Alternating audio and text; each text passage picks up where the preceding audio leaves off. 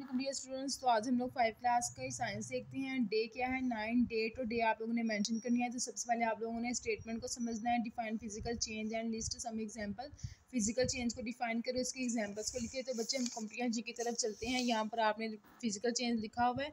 No new सब is formed ठीक है? इसमें कोई नया सब्सटेंस नहीं बनता, ठीक है?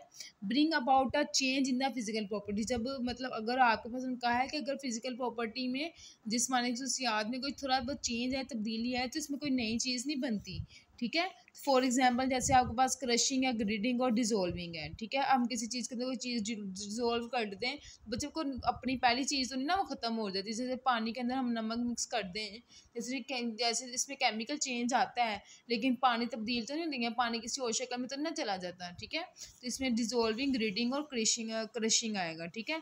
आपने यहाँ से लेकर यहाँ तक जो आपने आंसर है, ठीक है? यहाँ पर पहले यहाँ से लेकर यहाँ तक आपने डेफिनेशन पुट करनी है, यहाँ पर पहले आप लोगों डेफिनेशन लिखनी है इधर। फिर आपने एग्ज़ाम्पल मार्कर से एग्ज़ाम्पल की हाइडिंग दे के फिर आपने ये तीनों नाम लिखना है क्रशिंग रीडिंग और डिजोल्विंग ठीक है बच्चे? आपने नीट एंड क्लीन राइटिंग में इसको यहाँ पर लिख लेना है। और इसको अंडरस्टैंड भी करना है। ओके स्टूडेंट्स अल्लाह हाफिज़।